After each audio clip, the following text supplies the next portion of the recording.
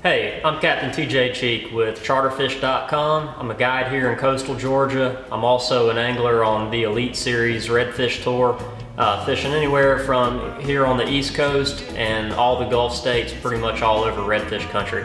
Um, when I'm here in Georgia and I'm guiding customers, especially in the in the warmer months of the year, uh, there's one bait that I, I, keep in my boat at all times. I always keep it tied on to one rod. I've got th this rod ready as a pitch rod at all times, especially starting uh, when the cobia get here.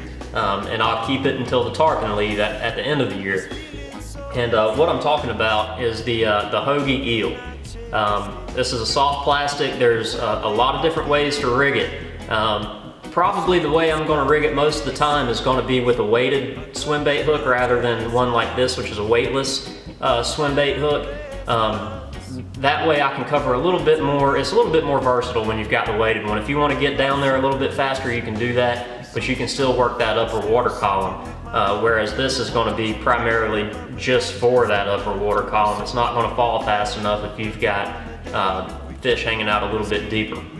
Um, one thing that I like about this bait is it replaces a lot of other baits. It's going to replace uh, speed jigs and butterfly jigs, um, it's going to replace a lot of hard baits. I don't have to keep nearly as many soft plastics in my boat uh, for these bigger species of fish because I've already got these. They also make these um, in a paddle tail uh, model called the Thumper and um, those work really well uh, also because they're going to have a lot more action on the fall. They're going to work really well when you've got them on a, a weighted hook or if you've got them on a, a jig head.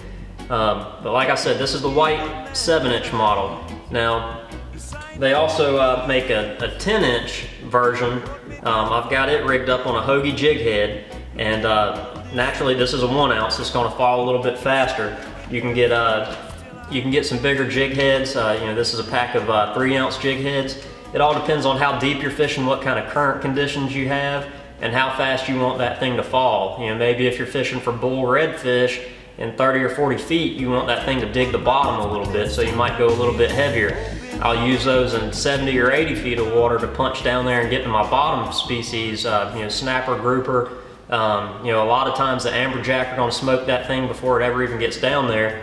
Um, but that's two different ways to rig it. I'll usually only have white and black. They make some other colors like bubblegum. Most of the time I'm gonna have just white or black. Uh, just keeping it simple. I'll use the black in, uh, in some lower visibility situations. Um, or low light conditions because it's going to have a little bit better silhouette. It's going to have a little bit better contrast. I'll use white when I've got good light or, um, or good water clarity uh, just because it's going to mimic the color of those bait fish a little bit more closely, uh, such as pogies or threadfins. Um, another thing that I do um, is kind of something that I, I figured out out of necessity one day. I was out uh, with some customers, I was uh, fishing for amberjack, and all of our, our speed jigs got, got smoked. They all got cut off.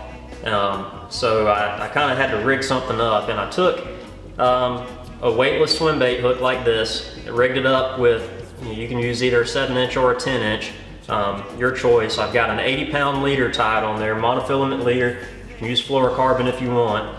Then I took a 3 ounce egg sinker and just let it slip all the way down to the hook. And from there, I fished it pretty much like a butterfly jig from then on. Um, if you've got a lot of current, you're offshore, you're in 70, 80, 90 feet of water, uh, you got a, a, good bit of current, you'll want to actually cast up current a little bit so that by the time uh, your bait gets down to depth, you're vertical or near vertical. And from there, you're going to work it just as you would your normal speed jig. Um, you know, you're gonna you're gonna rip it up fast, let it fall, rip it up fast, let it fall. Um, and you'll catch, and we caught the crap out of amberjack like that. They bit it harder than they bit the uh, the speed jigs. And ever since then, I've kept all I've kept all the speed jigs out of the boat. I've got a box that hasn't gone into my boat in two years, and never had any problem uh, catching those amberjacks on uh, on the eels.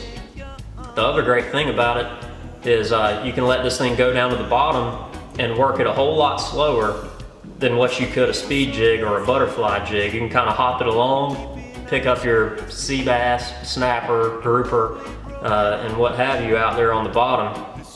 Um, so this is a really versatile uh, way to rig these baits. Uh, it's just a knocker rig. I use an improved clinch knot to, uh, to tie, the, tie the leader to the, to the hook. You can get fancy and use a perfection loop if you want to.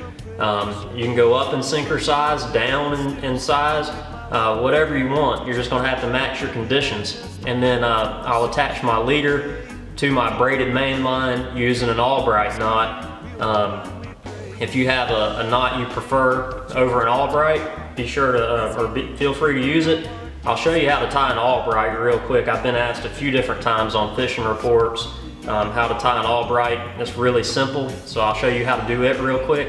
Um, we, will assume that this red string is your leader, yellow is your main line. You're just gonna make a bite with your leader. Take your main line, run it through the bite. You're gonna take enough line through to make six or seven turns, and you're gonna wrap it around that, that bite, both, both pieces of that bite. Um, I'll only do it about four times instead of six or seven, uh, just because this is so much bigger than, uh, than braid and then you're just gonna tighten it down. But maybe I should show you that. The way you came in with your, with your main line, you're gonna go back out the opposite way.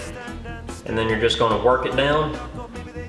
It makes a really clean knot. You can trim that tag in nice and tight uh, on both sides. It's really not gonna slip very much at all, if any. Um, one thing that you do want to do is be careful not to, to reel this knot into your guides because it's not going to cast back out very well. So keep that in mind when you're deciding on the length of your leader. You may not want to have a four foot long leader. You may want to keep it to two or three feet at the most. Um, and most of the time it's not gonna, not gonna matter. Um, that, that's gonna be all the leader that you need. If you're fishing for some toothy stuff, uh, sharks, uh, Spanish mackerel, kingfish, um, fish like that, then you may want to even take a, a shot of uh, steel and uh, make a little bite leader. All you have to do is haywire it to your hook and then you can Albright your monofilament leader to that wire and uh, you only need five or six inches of that and that's plenty. Um, that's the deal with the Hogy eel. It's a really versatile bait. It can help you clean stuff out of your box that you don't need. Um, it's great for cobia, jack crevalle, sharks, tarpon, redfish, amberjack, snapper, grouper, anything that's going to eat a big bait fish, you can catch it on these Hogys. You may want to, if, if you're fishing for some, uh, some fish that rely heavily on scent, um, for example, a shark or a redfish, um, you may want to dress it up with a little bit of Pro-Cure scent. Uh, that, that's going to help you get a bite, especially if you're working it a little bit slower.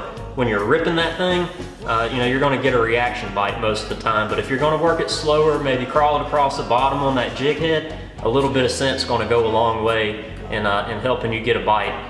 Um, if you'd like to keep up with more uh, videos like this, more fishing reports, uh, you can go to www.charterfish.com. You can sign up for my, uh, for my newsletter, um, or you can just, you, there's tons of reports there that you can go back and read. Um, also go to the redfishseries.com, check out some of the other anglers, and they put out some great tips and techniques as well. Thanks, tight lines.